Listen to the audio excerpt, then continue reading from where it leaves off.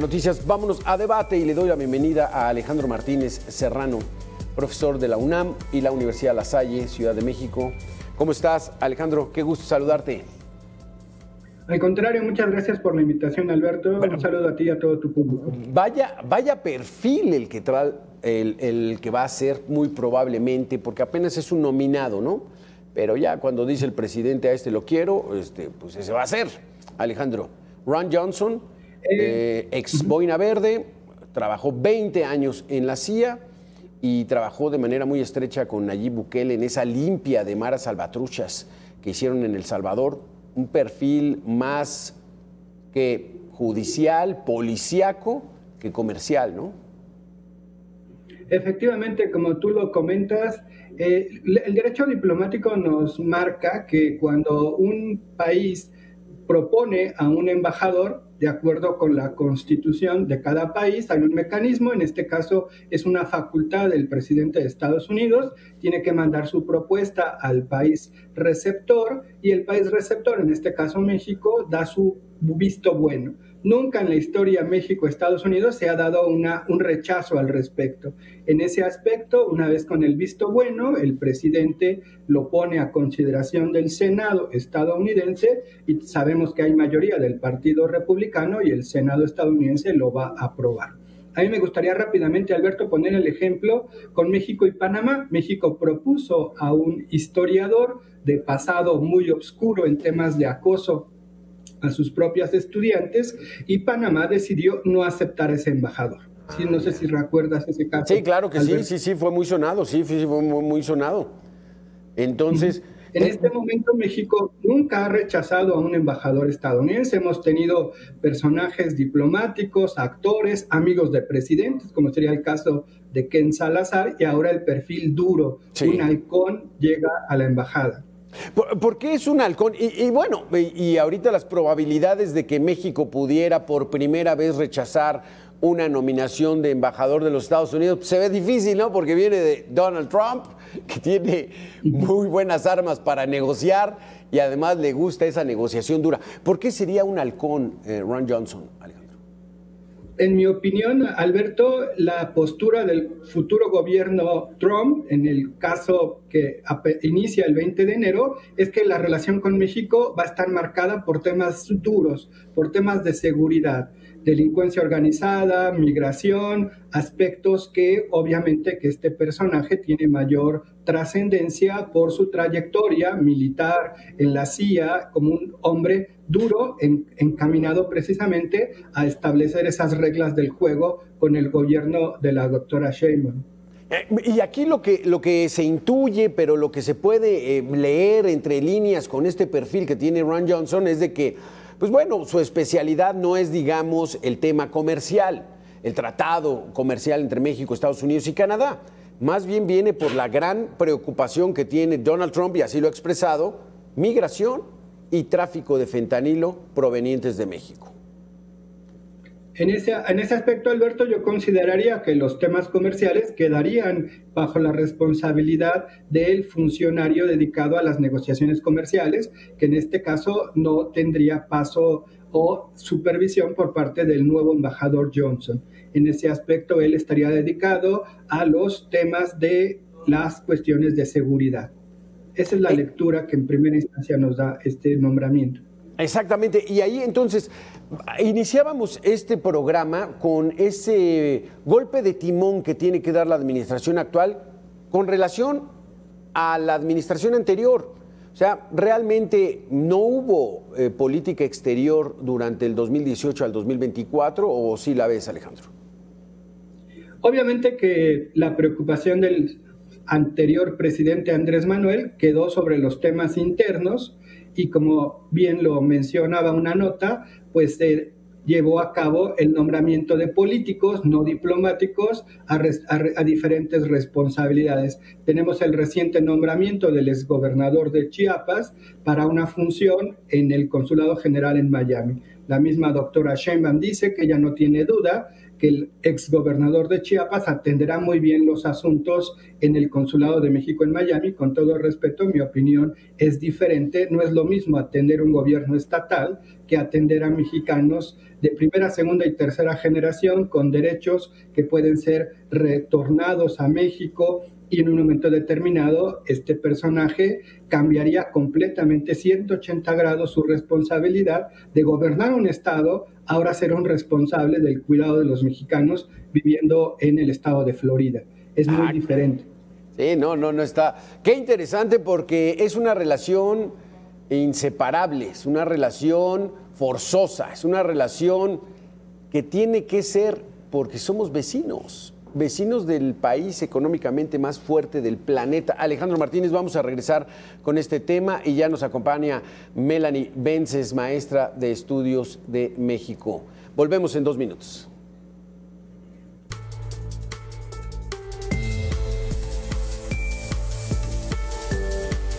Serrano, profesor de la Universidad Nacional Autónoma de México y la Universidad La Salle aquí en la Ciudad de México.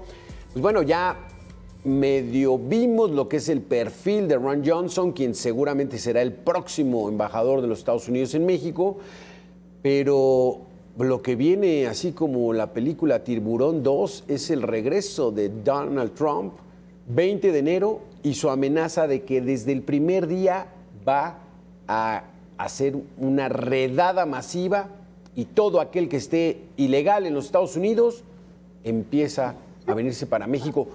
Es, esto es fanfarronería, este, está tratando de engañar o, cómo lo ves, Alex?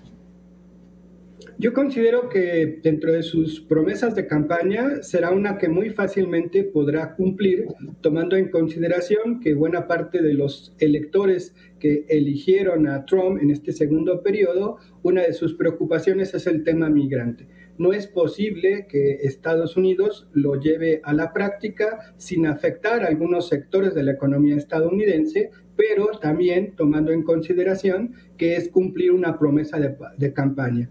Y tendríamos que tomar en consideración que es una decisión soberana del gobierno estadounidense limitar el acceso o apertura a la llegada de nuevos migrantes. Estados Unidos es una nación de migrantes. Incluso en ese aspecto tomaríamos en consideración que puede abrir o cerrar su economía y su nación a la llegada de estos migrantes. Es una decisión autónoma eh, del gobierno.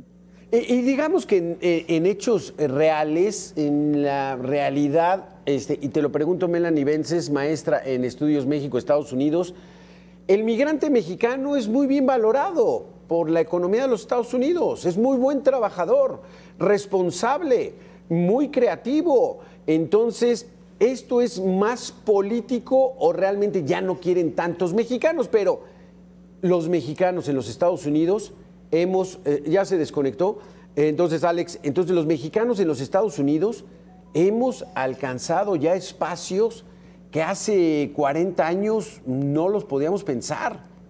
El español no es ya tan obligatorio, más bien el inglés ya no es tan obligatorio para los mexicanos.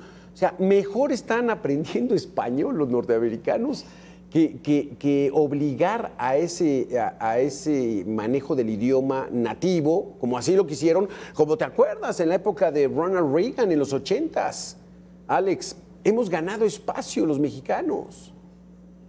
Sí, la, la, comunidad hispana en términos generales es la, ahora la primer minoría al interior de la sociedad estadounidense. Durante muchos, muchos años la primer minoría fue la comunidad afroamericana, ahora la primer minoría es la comunidad hispana. Como bien mencionas tú, no solo son mexicanos, también centroamericanos, caribeños, sudamericanos. Pero la mayoría son mexicanos, ¿no? La mayoría, ¿no?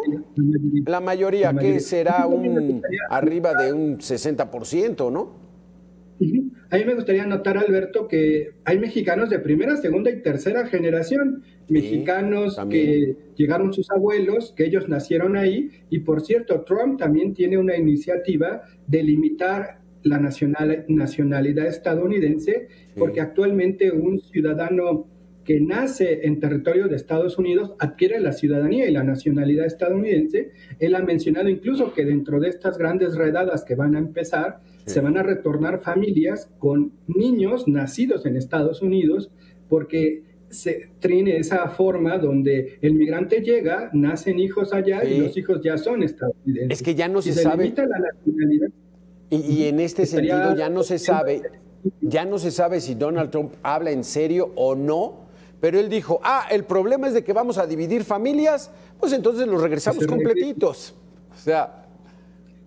Yo considero que sí habrá un caos a partir del 20 de enero, porque obviamente que él tiene que cumplir sus promesas electorales.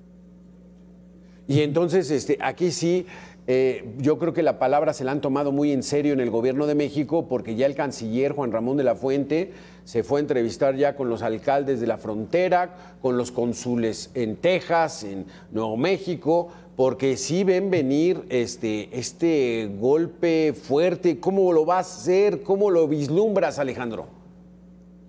En México tiene una particularidad en temas de diplomacia en el ámbito consular. México tiene 52 consulados en Estados Unidos. Habría que hacer, no sé si recuerdes, el famoso récord Guinness. Ninguna nación en el mundo tiene 52 consulados con su vecino por, por el tema de la gran cantidad de mexicanos viviendo allá. Algunos especialistas señalan hasta 30 millones tomando en consideración esa gran demanda de auxilio a la población, el consulado es el apoyo legal, jurídico de todos los ciudadanos de tu país viviendo en otro país. En ese caso, gran cantidad de personal diplomático que tendrá que redoblar sus acciones. Aquí viene una crítica, Alberto, como lo que hablábamos hace un momento con el nuevo cónsul en Miami, que no tienen experiencia en estos temas, desafortunadamente. Ay, Melanie, Melanie Vences, este, ya nos escuchas, maestra en Estudios México, Estados Unidos. La presencia de los mexicanos en los Estados Unidos es muy importante y no desde la perspectiva de nosotros. Los Estados Unidos ya han adoptado mucho incluso de la cultura mexicana. Este, no, no es de que ya se vuelvan absolutamente este, latinoamericanos, ¿no? Pero les gusta y el mexicano ha ganado muchos espacios, Melanie. Así es, de hecho podemos ver que, por ejemplo, la festividad del 5 de mayo, pues es una cosa tremenda en Estados Unidos, ¿no? Básicamente es como eh, nuestra independencia, ¿no? Entonces, bueno, pues hemos visto poco a poco que también em, la propia cultura mexicana ha ganado espacios, este poder blando que ha tenido eh, eh, presencia en Estados Unidos, pues ha poco a poco ganado muchísimos más espacios, ha también demostrado que pues no somos esos migrantes malos que ocasionan todos los problemas que tiene Estados Unidos, como bien lo está planteando Trump.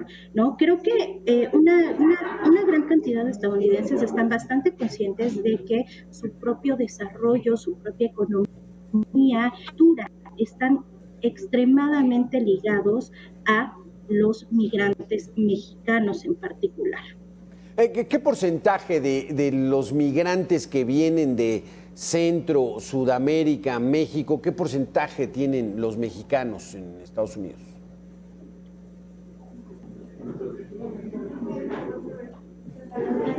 No nos escucha. Eh, perdón. Ya, ya, ya, ya escucho. ¿Ya eh, escuchas? Sí, bueno, ya, ya escucho. ¿Ya me pueden escuchar ustedes? Sí, sí, sí, adelante, adelante. Gracias, es que tengo algunos problemas. Eh, pero bueno, eh, estamos hablando de un porcentaje importante, ajá, eh, que bueno, estamos, no nada más es que aquí lo interesante no nada más es ver en la nueva arribo de migrantes mexicanos, sino los que ya existían y que tenemos una red tremenda de migrantes en Estados Unidos. Somos de los pocos, de las pocas nacionalidades que yo me atrevería a decir que tenemos una, una red de apoyo tremenda en Estados Unidos. Es una red importantísima, puesto que ya los nuevos migrantes que llegan, pues ya llegan, eh, pues básicamente con casa, llegan con eh, un, trabajo eh, al inicio para que después ellos se vayan moviendo. Y eso nos habla justamente de eh, de toda esta importancia, de todas las redes y de todo lo organizado que está eh, México allá. Exacto, incluso ya es una organización, Alejandro. Puebla todos eh, en sus municipios rurales, su proyecto de vida es irse a Nueva York. O sea, Nueva York está lleno de poblanos. Entonces, ya es muy común que un chamaco de 14 años, ¿qué vas a hacer? Me voy a ir a Nueva York. Entonces, hay toda esta red y toda esta infraestructura ya muy hecha de los mexicanos hacia los Estados Unidos, Alex. Hay una cultura migrante, Alberto, maestra Melanie, en ese aspecto, no solo Puebla, Zacatecas, Oaxaca, por ejemplo, en algunas comunidades oaxaqueñas existe la tradición, si me va bien allá en Estados Unidos, yo me traigo a otro eh, oaxaqueño a que él también alcance a triunfar acá en, en Estados Unidos, el famoso rey del tomate, el rey de la tortilla, personas que han emprendido negocios y que han sido exitosos en Estados Unidos.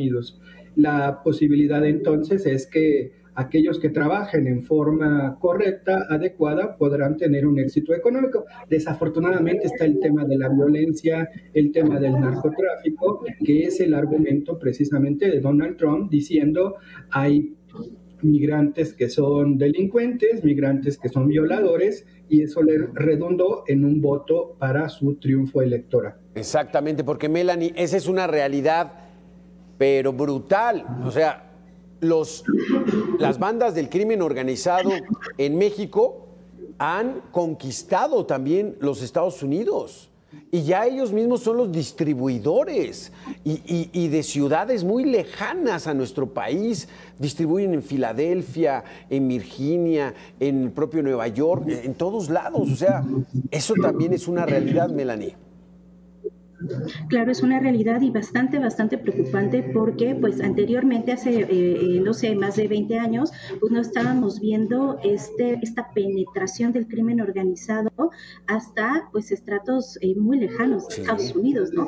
Ahora pues no, ahora vemos una penetración totalmente brutal también en Estados Unidos. Estamos hablando de que pues en Estados Unidos también está no sé si llamarla así, pero esta cultura también de la corrupción, pues cada vez está permeando más y es gracias a esta penetración del crimen organizado. No queremos decir con esto que en Estados Unidos jamás hubiera corrupción, por supuesto que la había, sí, pero, eh, pero no estaba eh, facilitando esta penetración del crimen organizado y de las bandas de delincuencia hacia eh, estados cada vez más lejanos. Hablábamos como esta cuestión como en la parte de la frontera, en la parte de California, donde pues sí había una, una mayor presencia de mexicanos, pero pues sí, justo ahora estamos hablando de que estas bandas criminales pues se encuentran ya muy cercanas este, a la frontera con Canadá, o sea, ya están básicamente en todos los estados de, de, de la Unión Americana. Eh, eh, sin duda alguna, el tráfico de drogas y los migrantes,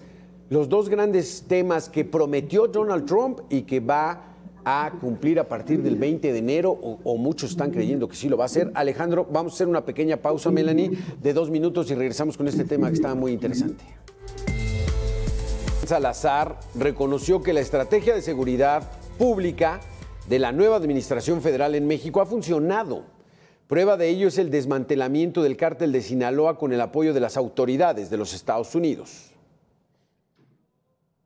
Nosotros hemos sido hecho bastante en crear una relación nueva. Por eso los carteles, por ejemplo, de Sinaloa, que se está desmantelando, ¿no?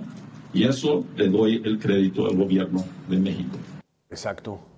Ahí, Melanie, esa es una realidad que a veces el gobierno de México quiere como que ocultar.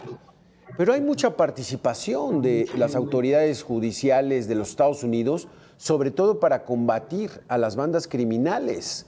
Y eso pues lo ven muy mal porque no, no pueden estar aquí por la soberanía nacional, pero es una realidad que existe, Melanie. Exactamente, y de hecho, em, digo, quedó súper de manifiesto durante eh, el sexenio de Andrés Manuel con esta eh, nueva ley de seguridad nacional, en donde pues eh, se les exigía a estos em, agentes que fueran a rendir como Em, un, bueno, que fueran cada mes a informar eh, a las autoridades sobre sus eh, operaciones aquí en México. No está mal, está muy bien. Qué bueno que, exista una ley que rija este tipo de cooperación. Sin embargo, em, este tipo de ley pues eh, se hizo justamente en este marco de vamos a mostrarle al mundo que México está em, defendiendo su soberanía, de que básicamente México no necesita de ninguna otra nación para eh, seguir, eh, eh, seguir adelante. pero pues obviamente la historia nos ha enseñado que de los mayores golpes que le hemos dado también a estos narcotraficantes, pues son golpes que se llevan a cabo en conjunto. Además, somos una región y eso no se nos debe olvidar. en las regiones cooperan y las regiones se ayudan. Eh, y es algo que a veces al gobierno mexicano, al menos al de Andrés Manuel, se le olvidaba. Como bien dices, había colaboración, pero se mantenía como en esta parte del secretismo, ¿no? Entonces, eh, esperemos que con, Claudia justamente pues esta, esta cuestión comience a cambiar, que Claudia realmente diga, oigan, pues sí estamos colaborando y necesitamos seguir colaborando. ¿Por qué? Porque nuestros problemas regionales no pueden encontrar una solución aislada estos problemas regionales tienen que encontrar una solución justamente en conjunto. ¿Por qué? Porque nos afectan absolutamente a todos. Y una descoordinación, pues lo único que va a llevar es que el crimen organizado tome más espacio. Exacto, porque es como una pantalla, ¿no, Alex? El decir, no, no pueden estar aquí los agentes, no hay una colaboración, este, la soberanía, pero por otro lado la realidad este, pues, se impone pero es una pantalla política, ¿no? Que siempre ha habido entre los Estados Unidos y México. Fíjate que yo lo vería como un discurso para tus electores, en este caso el discurso interno y una realidad en la práctica, como bien lo señala la maestra Melanie, hay presencia de autoridades tanto de investigación dentro de la Embajada de Estados Unidos dedicada precisamente a la colaboración y a la búsqueda de información e inteligencia para desmantelar este, estos grupos delincuenciales, que tienen una particularidad, operan en México, pero sus consecuencias son en Estados Unidos con el tráfico ilícito de drogas. Eh, fue lo que pasó, Alex, con, el Mayo, que todavía el gobierno de México le está diciendo a Estados Unidos, dime cómo fue. Y Estados Unidos dice, ellos cayeron aquí, este, como haya sido Melanie, ahí pues es más que evidente, es de sentido común, ¿no? Que hubo participación de los Estados Unidos, pero pues no lo quieren reconocer ni uno ni otro. Exactamente. Eh, Creo que con el gobierno de Andrés Manuel se generó una brecha de comunicación también bastante, bastante grande, una brecha que justamente es uno de los retos que va a tener eh, la presidenta Claudia Sheinbaum para poder seguir eh, cada vez acotándola más. Eh, es necesario, como dije anteriormente, que los países se den cuenta que para combatir este flagelo que es el narcotráfico, que es la trata de personas, em, incluso eh, eh, tratar de ordenar la migración, se necesita una mayor cooperación, se necesita un mayor entendimiento, se necesita realmente que se lleven a cabo estos principios de diplomacia pública, no de diplomacia secreta. Ajá. Entonces, creo que eso es algo eh, que se nos ha estado olvidando tanto eh, a nuestros socios como a nosotros. No hay cabida para la diplomacia secreta en las nuevas relaciones internacionales. Y, entonces hablamos del problema de migración, el problema del tráfico principalmente de drogas sintéticas y el fentanilo. Alex, se nos acaba el tiempo, pero ¿será el fin del Tratado Comercial México, Estados Unidos y Canadá? Con esta amenaza de aranceles, con este regreso del proteccionismo. O sea, ya dio el Tratado de Libre Comercio la vida, más de 30 años, ya es hora de cambiarlo, ¿cómo ves? Yo considero que se va a reformar el tratado, a ninguna de las tres naciones le conviene que desaparezca, quizás se establezcan mayores restricciones para la participación de actores externos, como es el caso de la inversión china se va a reformar el tratado para limitar esos aspectos. ¿Y el cobro de aranceles es solamente una amenaza? ¿O de plano sí Estados Unidos está diciendo, venga ese dinero porque están saliendo más beneficiados mm, Estados Unidos, este, Canadá y México? Fíjate, Alberto, voy a usar un lenguaje muy colonial, muy coloquial. a Donald Trump le gusta la estrategia de la chancla y la abuelita. Si no haces esto, saco la chancla y te pego. Eh, la posibilidad de subir aranceles sería violatorio al mismo tratado y México podría acudir a, paneles arbitrales para quitar esa medida unilateral del gobierno estadounidense. Un, minuto, Melanie, un minuto. Un, sí. Un minuto, Melanie, para que concluyas.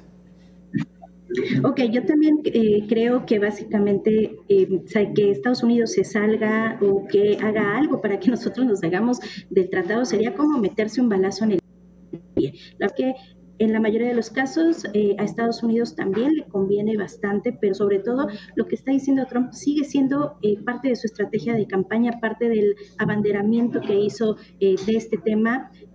creo que sí, está como eh, la zanahoria y el garrote, si no haces algo, pues te pego y no te doy la zanahoria, no te doy el, el, premio. Sin embargo, creo que también hay que tener en cuenta el perfil que va a tener el nuevo negociador, eh, Jameson Grieve, que es muy cercano a Lightsinser, eh, y creo que eso podemos verlo como una pequeña oportunidad, porque ya sabemos más o menos el, em, el perfil que puede traer este negociador eh, para nosotros. Y sobre todo, bueno, pues también teniendo en cuenta que vamos a tener a Marcelo, que tiene relaciones bastante personales, cercanas con eh, estos eh, estadounidenses negociadores. Con el yerno, es amigo del yerno. Con el yerno. Muchas gracias, Alex Martínez, profesor de la UNAM y de la Universidad de La Salle. Melanie Vences, maestra en Estudios México, Estados Unidos.